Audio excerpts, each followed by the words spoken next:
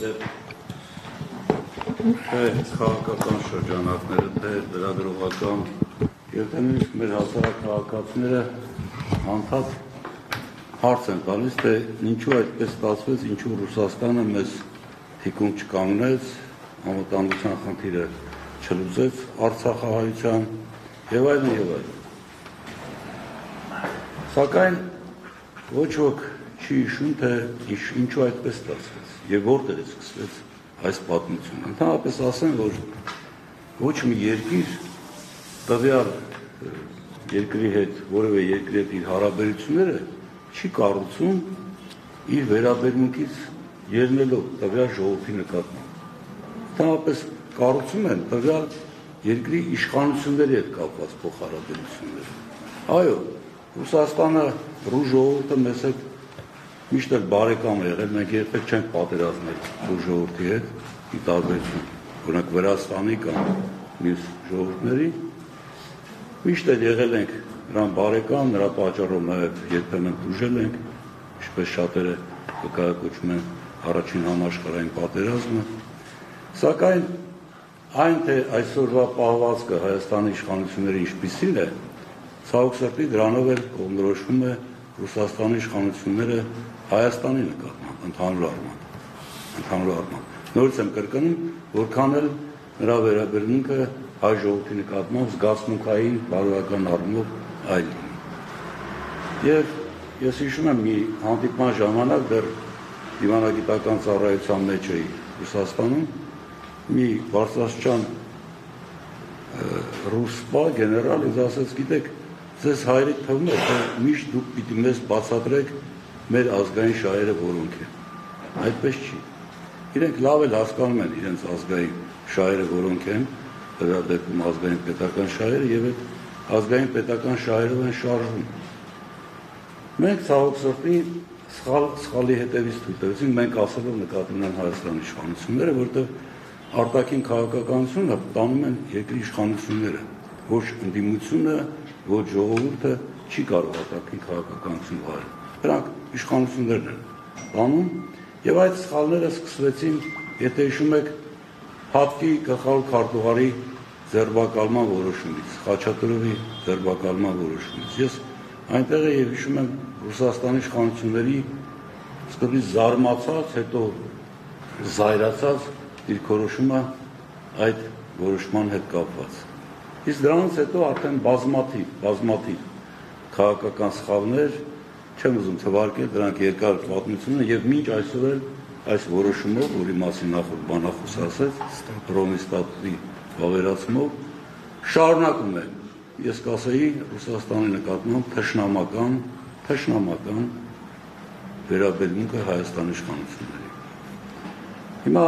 հարց է առաջանում, բա ինչ անեն, եթե ռուսները չեն պաշտպանել մեզ, եթե այսպես, եթե այնպես։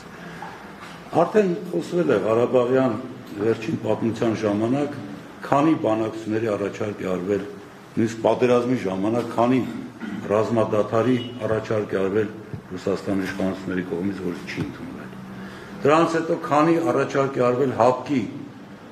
ուժեր տեղակայելու մասին, վերաբերյալ մեր սահմանամերձ շրջաններում եւ նաեւ տարբեր տեղերում։ Նույնպես չի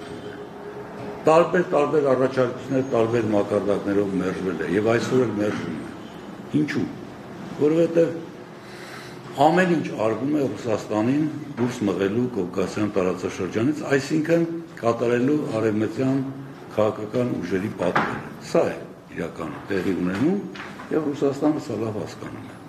Եվ մեր սխալների պարագայում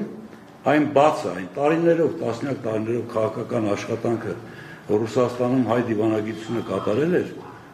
ռուսների հետ լավ հարաբերություններ ունենալ տարբեր մակարդակներ, զինվորական, թե քաղաքական, թե դիվանագիտական, այդ բոլորը այսօր զրոյացվել է։ Զրոյացվել է եւ այդ բացը լցրել է Ադրբեջանը։ Ադրբեջանը, որոնք միտեղ կաշառքով, նա կաշառքի վարպետ էր, դեպ ասեմ դες։ Միտեղ կաշառելով, միտեղ իրենց տնտեսական շահերը համակրեցնելով, միտեղ նաև նախկին կապեր, նույնիսկ Ալիև փոր կապեր օգտագործելով եւ այլն եւ այլն կարողացել են այդ բոլոր տեղերը լցնել եւ այսօր իրենք ուժեղ լոբի ունեն Ռուսաստանում, շատ ուժեղ, այնպեսին, որի դեմ մենք այսօր անզոր ենք։ Մեր արտաքին քաղաքականությունը ընդհակառակը ամեն ինչ անում է, որ մեր դիվանագիտական լծակները չաշխատեն Ռուսաստանում, ամեն ինչ անում է, որ մեր դիվանագիտությունը կտրվի համայնքային ուժերից, իդեպ դա անում է ոչ միայն Ռուսաստանում, ամբողջ աշխարհում է անում։ Ամբողջ աշխարհում անում է թե արտաքին իր ապաշնոր քաղաքականության պատճառով, թե սփյուռքի, չգիտեմ, այդ ինչ կառույց է, կասկածելի կառույց եւ հանձնակատար նշանակելու ճանապարհով, սփյուռքը պարակտելու ճանապարհով, սփյուռքի ակտիվ լոբինգ, հայկական լոբին իրականացնող են Հայաստան արգելելու, նրանց հալածելու, վարկաբեկելու ճանապարհով եւ այլն եւ այլն։ Այսինքն ճիշտ հակառակն է անում, ինչ որ անում է Ադրբեջանը, թե Ռուսաստան, թե նաեւ մյուս երկրները գիտեն մյուս երկրների միտեղ։ Հիմա իրականությունը այն է, որ այն գործիքակազմը, որ մենք ունենք անվտանգության բնագավառում, նաև շնորհիվ հապկի կառույցի, իսկ տնտեսության մեջ շնորհիվ ԵԱՏՄ անդամակցության, դրանք մենք հերթով կորցնում ենք։ Մեզ սպասվում է հապկից դուրս գալու որոշումը, եթե այսպես գնա, այսպես գնում է ընթացքը, մեզ սպասվում է ԵԱՏՄ-ից դուրս գալու որոշումը, Իդեպ ասեմ, որ արդեն Ռուսաստանում բավականին դա տարածված կարծիք է եւ ԵԱՏՄ-ի կառույցում արդեն պատրաստվում են դրան, իսկ չգիտեմ ինչու այսօր շատ քիչ է արձարծում, թե տնտեսական առումով նո անվտանգությունը հասկացանք։ Ղարաբաղը հայաթափվեց, վաղը սահմաններին հապկը չի օգնելու, པարզ է, իսկ տնտեսական առումով ինչ է սպասելու, այդ մասին շատ քիչ են խոսում։ Շատ քիչ են խոսում։ Արդեն գիտեք, Լարսի ճանապարհի 600-ից 700-ից ավելի բեռնատար հայկական կանգնած են։ Կոնյակ էլ չի արտանվում, ոչինչ չի արտանվելու ռուսական շուկա։ Մենք Եվրոպայում շուկա ունենք, իհարկե ոչ։ Չունենք։ Մենք անվտանգության երաշխիքներ Եվրոպայից ստանում ենք, իհարկե չենք ստանում։ Այսօր կարծեմ ամերիկյան պետդեպարտամենտ ասես, որ էթնիկ զտումներ չեն եղել Արցախում եւ մենք դեռ պիտի ուսումնասիրենք եւ այլն եւ այլն։ Այսօր արդեն Ֆրանսիայի պաշտպանության նախարարը հայտարարեց, որ չեմ կարծում, որ մենք երբևիցե ռազմական օգնություն ցույց կտանք Հայաստանին։ Այսինքն ինչ ենք մենք ստանում Եվրոպայից, արևմուտքից ես կասեի, որովհետև այս ամենի յետևում կանգնած է Միացյալ Նահանգները, արևմտյան ուժերը։ Մի ամիս առաջ էր ես ձեր հիշողությունը մի քիչ բորբոքեմ, երբ ամերիկյան կողմը խոսում էր Արցախում հակաբեկչական գործունեություն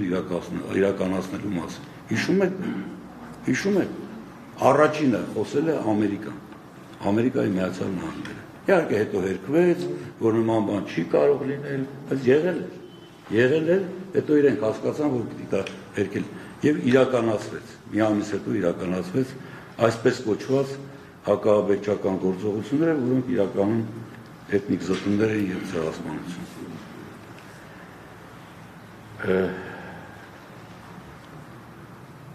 Ես լիովին համաձայն եմ այն տեսակետից, որ Արցախի խնդիրը պետք է քաղաքական